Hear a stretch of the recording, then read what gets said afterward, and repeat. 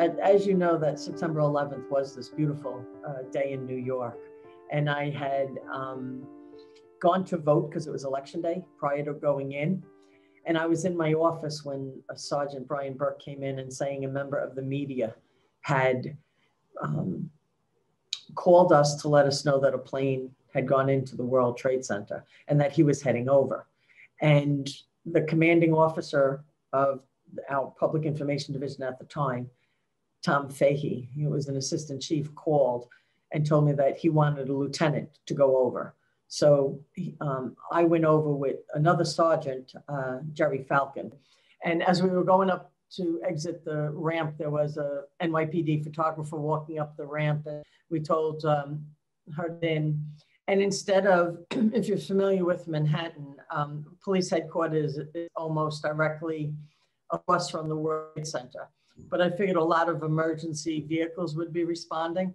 So we went around the horn um, underneath the Battery Park Tunnel um, to get there. And I remember when we got on the FDR Drive by the Brooklyn Bridge, there was just paper floating all over the place. And I was thinking, wow, that's a, a lot of paper. Because in my mind, I was thinking it was a Cessna, like a small Cessna. It was a pilot from New Jersey who had had a heart attack while he was flying. And I half expected to see um, half a plane sticking out of somewhere in the building, not um, that it could be anything uh, bigger than that. But I was aware of the magnitude of the event in the terms of how and was that was flying uh, and landing on the the FDR Drive. So I we got to the World Trade Center um, at 8:54. That because um, back in the day, um, back almost 20 years ago, we had alpha pages, and I don't know if you recall them. They were like a step up from the beeper. You were allowed to send text messages. Um, said that the it went off, uh, and it told me that the highest level of mobilization had been called for the NYPD, and that everyone who respond to the corner of uh, Church in Vesey Street. And so we we went, um, we parked the car on the west side of Liberty Street. And since we couldn't cut through the complex, we made it um, our way around on the outskirts of the building. Um, the North Tower had been the first one hit. Um, and, you know, the streets were already closed. I have to say that the NYPD and all emergency responders really fell into action right away in terms of the barrier trucks were already out putting barriers. Um, the traffic agents were already deployed to redirect traffic. Um, and you know, someone really smart um, in the transit system, and I don't know who it was, but had the the foresight to stop the trains coming in either direction from the World Trade Center, which you know is a transportation hub in New York.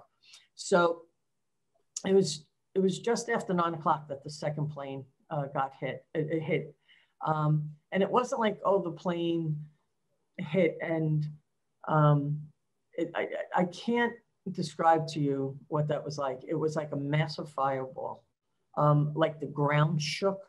Um, and, and the roar of the engine. You know, I grew up in Queens, not far from Queen, uh, from Kennedy Airport. So, you know, I knew what the sound of a,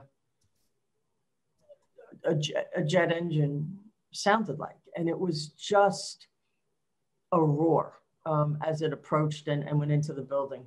Um, and honestly, um, the, the fireball, the shattering of glass, because don't forget, you know, the area had been sealed off because of the North Tower being hit. And now this was the South Tower. And that really did a great job securing the area. Um, and it was then um, that I remember seeing people jumping. Um, and that was just, uh, at first it was unbelievable because you're like, wow, look, look at all that's coming down. And then it took a while to realize that it was a person jumping. Um, and I personally, I can't imagine what that must have been like um, because can you imagine being put in a position that that was the better choice? But I, on the other hand, I can't imagine what it was like to have the fire behind you that jumping was the better alternative. Um, you know, those buildings were 110 stories high, you know, so, and someone afterwards related to me that um, a son had called his mother and said, um, Mom, um, I'm sorry, but I, I have to jump. Um, I can't, I actually um, can't imagine what that had been like. And I remember thinking how helpless um, I was feeling um, along with other people because we knew looking from the ground what had occurred. Um, and we had helicopters in the air, but we knew they couldn't land with the smoke and the fire.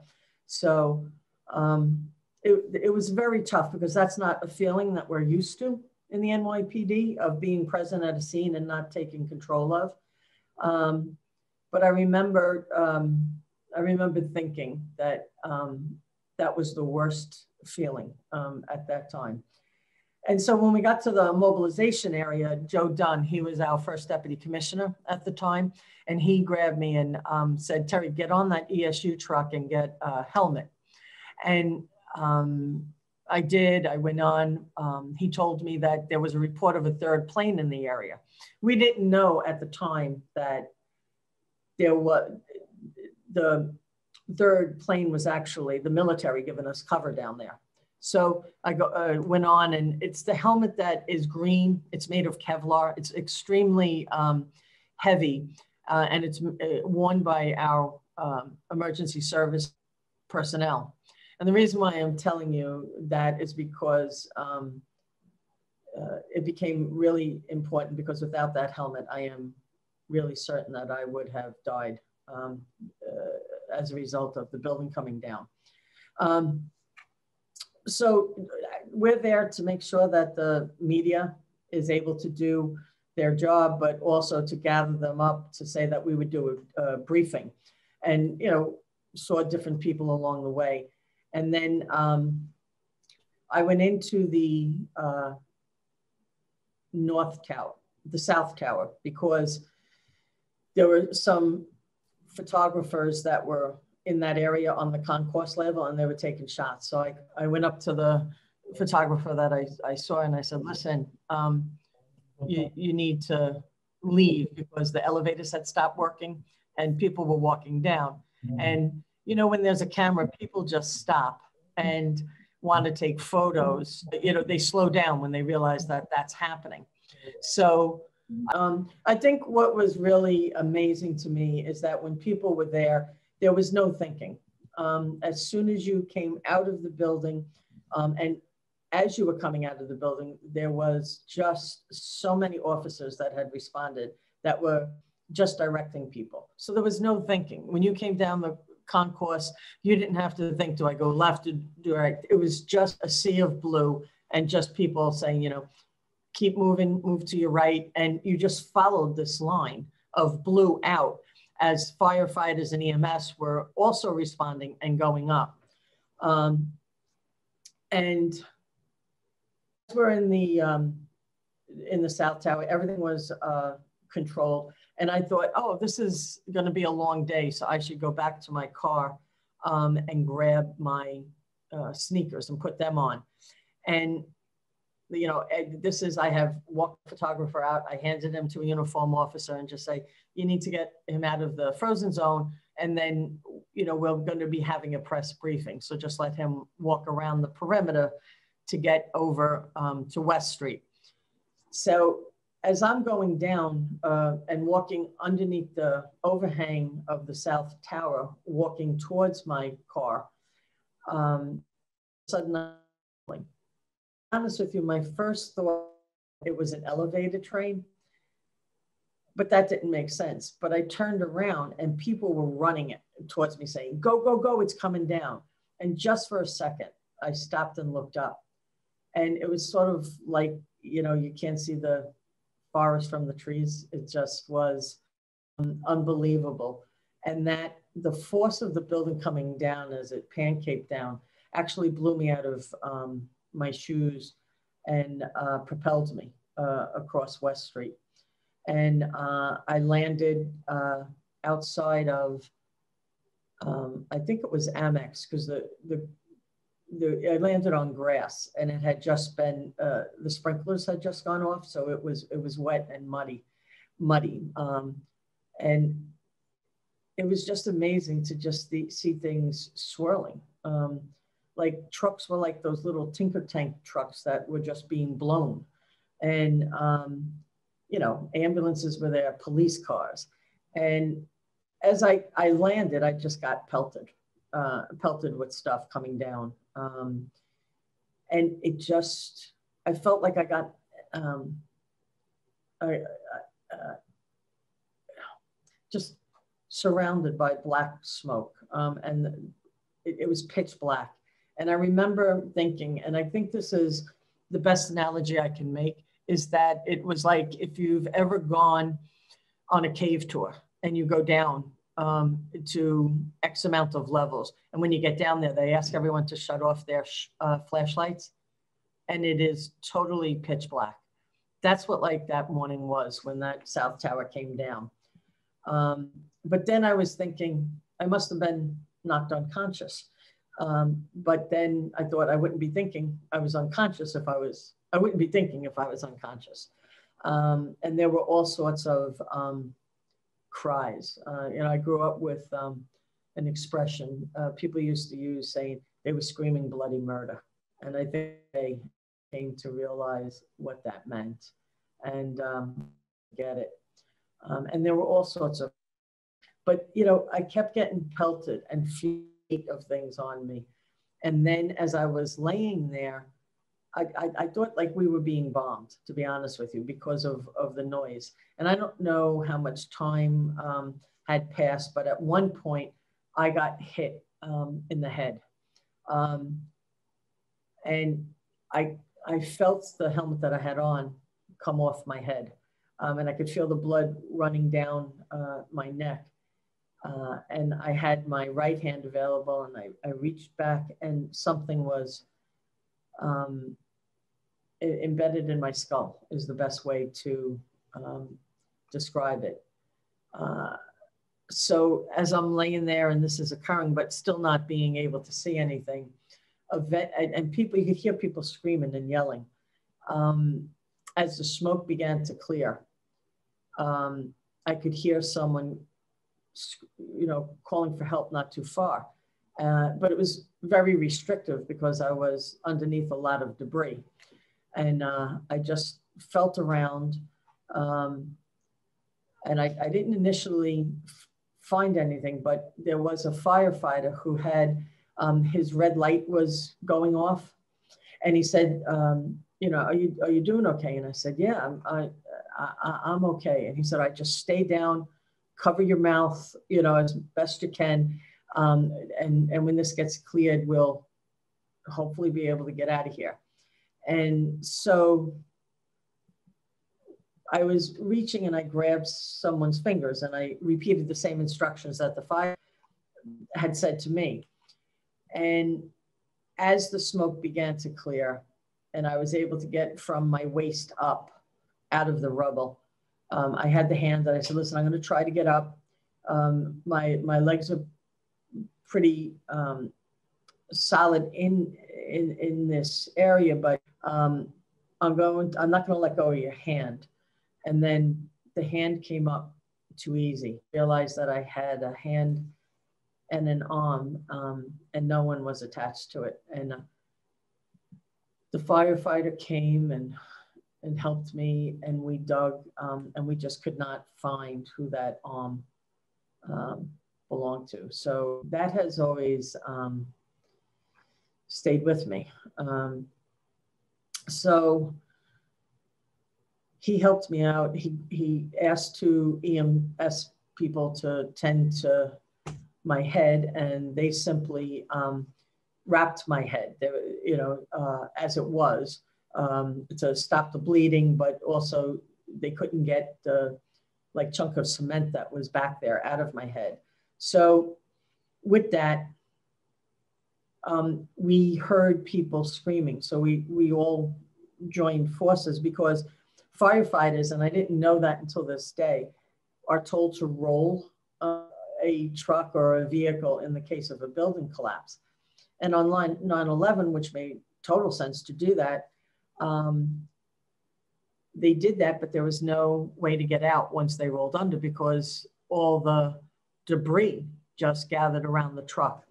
So we were able to um, pull several people out um, from underneath the fire truck. And we just stopped and would listen to voices, and then we would start, um, you know, digging out. And I think we pulled three people out. But then all of a sudden, another whole group of people running towards us. And they were saying, the other tower's coming down, out of here. And I was thinking, uh, like, my body was in shock. And where, where are we going? Um, so I was somewhat familiar with the area down by Battery Park City. And I thought I'm going to run toward. I felt really unprotected at this time. You know, um, I didn't have a helmet on. Um, you've seen the video. There was like this rolling black cloud that just kind of comes. It was coming toward me, um, and you know I'm barefoot, um, and there was still uh, fires are burning. So I just said, I'm, I'm going to run to the water um, because I felt like I could, if I got in, I could jump into the water. Um, and if things came down, I could at least submerge myself and get some protection. Um, but as I was running, I got hit in the back and I went straight from running down straight onto my knees. And um, I didn't know what had happened, but I knew I had gotten hit in the back and I knew I wasn't going to make it to the water. So I, you know, I turn around, that cloud is getting closer to me. And um, I saw and I pulled on the door and I was able to go into it. And at first I'm thinking, oh, this building must be under construction because um, those lights um, that you see at construction sites, those were the only things lit. But of course, you know, the lobby uh, windows and everything was glass. So I figured let me walk further into the building. But as I got to the elevator bank, which were all, all the elevators were stopped at one, smoke was starting to come through um, the elevator shaft. So I, I, said, let me go into a, a stairwell. And when I opened up the door, there was just a line of people up in the stairwell. It was an apartment building. I mean, people were in all sorts of states of dress. Like people, it looked like people had just come out of the shower. There was a woman holding a very small baby. Um, and I, it, it, seemed very surreal. Um, but I was starting to think that everything in lower Manhattan was going to come down. I mean, if these two massive towers could come down and they were hitting other buildings. So, um, I, you know, I, just told them who I was. Um, and I said, listen, we, we need to evacuate this building. Um, and I went out and I thought, um, let me go to the, and the same thing occurred. That black smoke started to become this grayish ash. Um, and I, I, went to the door and I saw um, two people asking me, you know, I could see the back of their shirts and it said TARU on it, T A R U, which is our assistance and response unit. So I, I, just opened the door and I was like, Taru, I just screamed. Um, and they turned around. And one of them, uh, he was um, someone I knew, Pete Moog. And I explained to him that, you know, all these people are in the, in the lobby and that um, we needed to get them out. And he said, you know, via the police radio, um, he had heard that we were moving people out to um, Staten Island and New Jersey via boat. And so I was like, all right, so, you know, got, you know, they were like, we'll go with you. And I turned around and Pete said, yeah, hey, Terri, um, listen, I, yeah, I think you better go down. And I said, you know, you need medical attention. And I said, yeah, I, I you know, they, I saw EMS, they wrapped my head. And he said, no, he says, you have a shoulder stick. And I think Pete had some EMS training because he was just like, just leave it in because, you know, that's the smarter thing to do um, so I was just like, uh, you know, okay. So um, obviously I knew something was there, but I didn't know that it was glass. And we evacuated the building and we started trans uh, putting people as boats came into the harbor um, on the boats. And there was one pulling out, and I could see the NYPD harbor boat pulling in. And I waited um, for the police boat. And then by this time, the sun starts to come out. It, it, it was just so bizarre.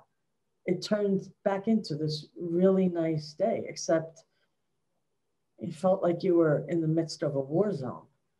So when the harbor unit uh, pulled in, um, the captain over there said, listen, we got an injured uh, member of the service here. And EMS came over and said, all right, if you're getting on the boat, we have to pull this glass out of your back because um, if the boat rocks, it could go in and cause more damage. So they they cut off my my shirt um, and wrapped me, pulled out the glass and and wrapped me really tightly, and uh, put me on the boat and um, I didn't want to leave Manhattan. I was thinking, can I like can I go to like a hospital downtown? And they were like, listen, we're getting everyone um, over um, to the Jersey side, and I went over to um, Ellis Island, and when we got there, it's the, strange the things you remember. They just put white tape on your wrist and and I kept mine uh, for a long time. It just said my name, that I was a lieutenant in the NYPD, my social security number, and when we get over to Ellis Island, they lifted me out of the boat and put me on a wheelchair in a wheelchair to sit because I couldn't lean back because of my head and because of my back, and I was sitting there, and they came to to bring me. But as, as I'm sitting there under a tree, I see a person who was laying on a structure, but on his knee, all of a sudden, his leg just made this very bizarre uh, turn. And so I said, listen, I, I can't lay down. You know, it, it's going to be a waste of an ambulance because I, I can't use the stretcher. I said, but there's this guy that's really badly hurt. Um, and you know, his leg is, is very mangled. So they put us both in the same ambulance. They loaded him on the stretcher. They lifted me onto the, on the bench.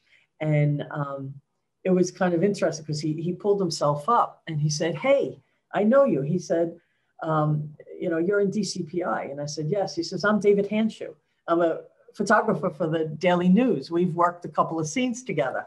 And I was like, oh, right. You know, when I looked at him I, and I'm looking at his leg um, and I said, Are you okay? And he said, um, You know, he was obviously in shock, but he, he was very concerned about his family um, because he lived in New Jersey. Um, his wife knew that he was at the World Trade Center and he had no way of getting in touch with them. So I said, um, Listen, a park ranger had come up to me um, while we were on Ellis Island and he was able to get in touch uh, with my family to let, I just left the message, just let them know that I'm, I'm alive. And he came back with a message and said, just call. You know, their only request is when you get a chance, please call.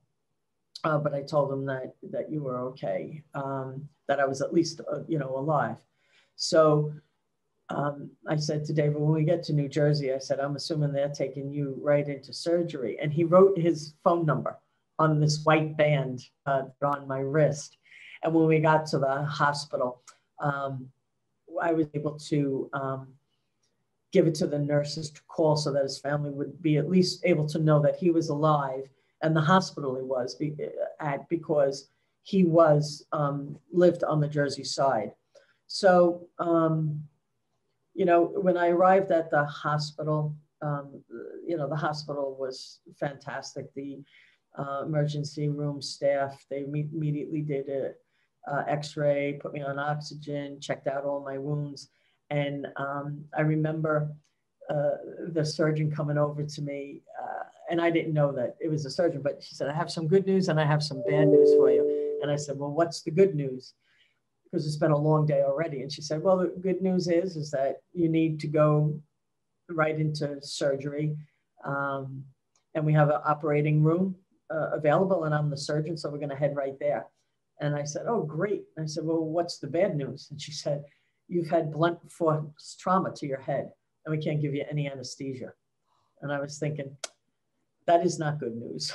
um, but um, she was wonderful. Um, uh, they uh, did my head first, and then they did my back, and um, I recovery into the recovery room, and through the small box, you know, it was a, a, a double door, but you know they have those small square windows um, at the top, and I was just looking through it because I couldn't lay prone, so I had to be in an upright position, and I looked up, and I brother Kevin coming towards the door. And um, I could tell that he was as happy to see me as I was him. And they, they stopped him and they made him put on all the necessary precautions. Um, and he came through. I, it was um, just wonderful to see him. I, I once I saw him, I, I, kind of felt like everything would be okay. Um, he was a, a, detective in the NYPD at the time, and um, uh, he had was able to track down um, where I was and came over to get me. And so he spoke to the surgeon, and you know they said, uh, given the severity of um, my head wound, um, he said I couldn't be. The surgeon told him that I couldn't be left alone for 72 hours. And he said, um, you know, that was fine. But there was this sense, even at that point, which was hours later, that everyone was going to rise up out of this rubble and hospitals were going to be overrun. So I asked, um, you know, could my brother at least bring me back to New York? Uh, he's he promised the surgeon he would um, take custody of me and make sure that um, everything was okay. His plan was get me back to Manhattan, um, and uh, which we did. And um, his wife is a registered nurse. He was going to bring me out there. And then, um, as it turned out, um, when we got back, he brought me back to police headquarters where I was. We we went to, actually. So many people had gone with other officers to the emergency room at the hospital. They jumped. They asked him, "Can I get a ride back?" Because people knew that this was an ongoing scene and needed to get back to Manhattan. So he filled it up as much as possible. Um, I'm sorry, I just need to um, close all those. Um, so several people jumped in the car and we drove straight back to the World Trade Center site. Um, it turns, um, you know, it turns out that, you know, they had wrapped my head. They had given me, you know, those green surgeon's pants and a, a blue top. Um, my ankle uh, was broken, but they couldn't cast it because I had all these open wounds um, on it.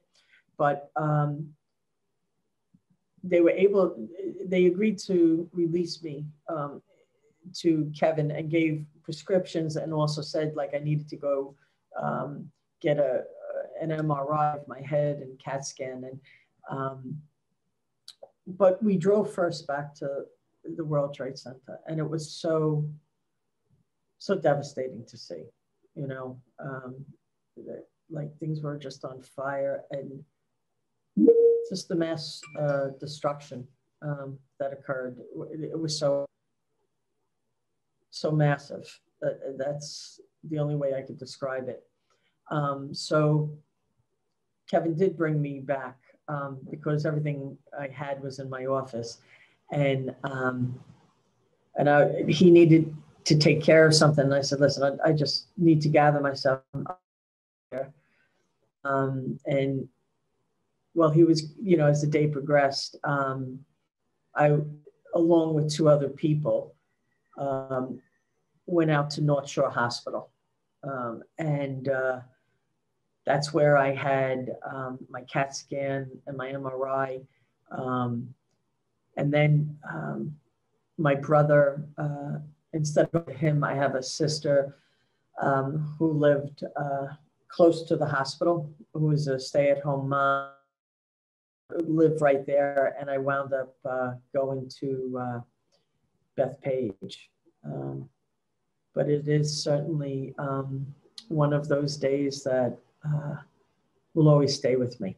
Um, you know, we're coming up on the 20th anniversary, and I want to say that's that's true. Um, and, you know, every September 11th, I called Joe Dunne, who was the person who told me on the helmet because um, I, you know, he he was the first deputy commissioner, and I know that he took um, our loss of 23 officers to heart, and I always want him to be reminded on that day that it was because of his leadership that I'm alive and well today.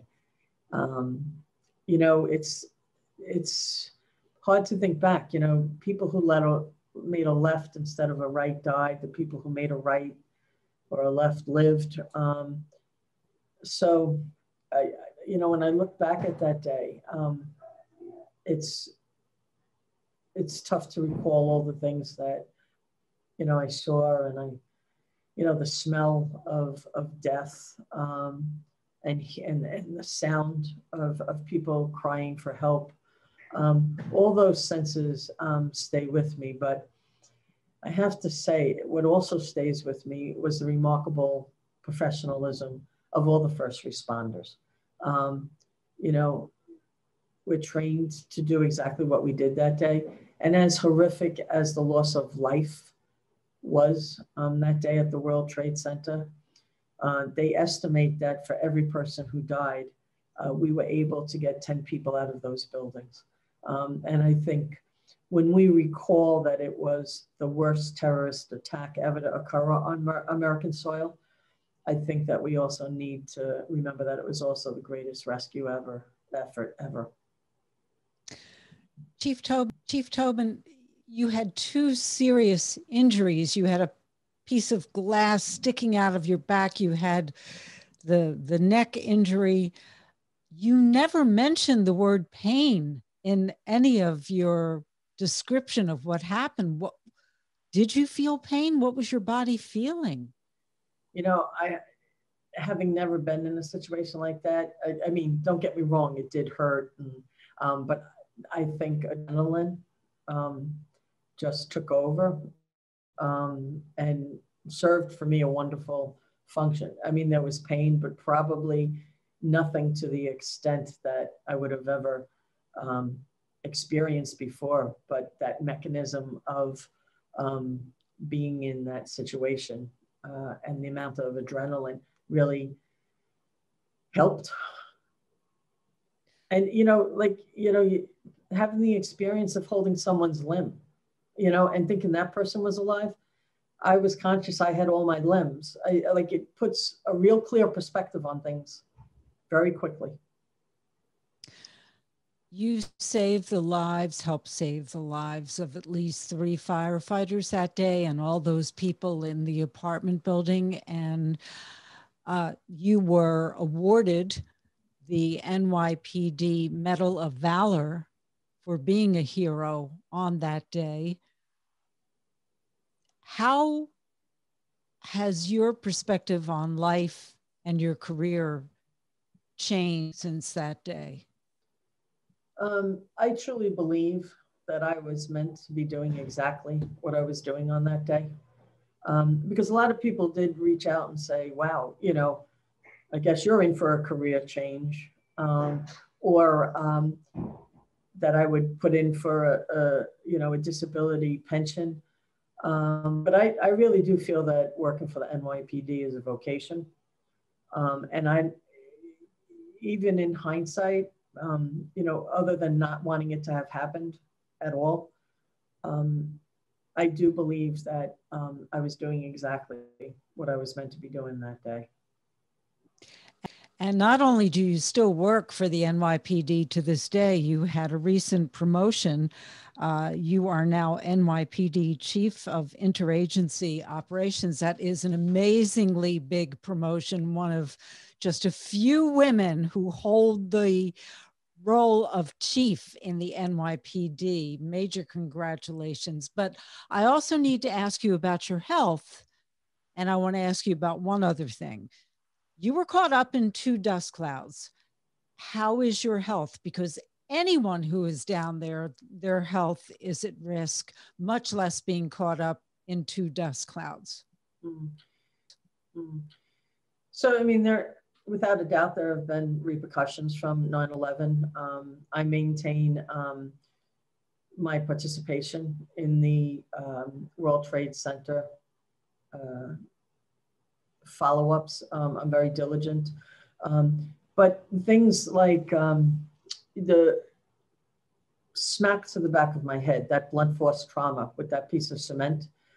Um, I guess it was about five or six years after 9 11, I kept getting headaches. Um, and I didn't know what was causing them. So finally, you know, the department uh, sent me for an MRI because it was so sporadic. I didn't think that um, I couldn't isolate like, uh, oh, if I had something cold, it would happen. It would happen very arbitrarily, very infrequent, but very intense. Um, and it was only on my left side of, of, my, my face. I would feel a lot of pressure. So um, I had the MRI done and it revealed that um, I had my teeth, uh, my wisdom tooth um, on this side knocked out of my head when I got hit with the cement. And it took, I guess, five years for my teeth to shift. And it knocked this wisdom to sinus cavity. And it was just floating there. And every now and then it would hit a so I went, and fortunately, I had been very diligent about going to the dentist um, prior to 9 11. And so I had all the x rays um, from my own dentist. And I went to an oral surgeon through the police department, uh, Eugene Lesotho, who was just amazing. Um, and he did a set of x rays uh, at that time. And uh, he said, two thirds of your teeth are going to come out. Uh, they had been cracked. And so um, it took three years, but they replaced two thirds of my teeth um, as a result. But no cancer, no respiratory illnesses?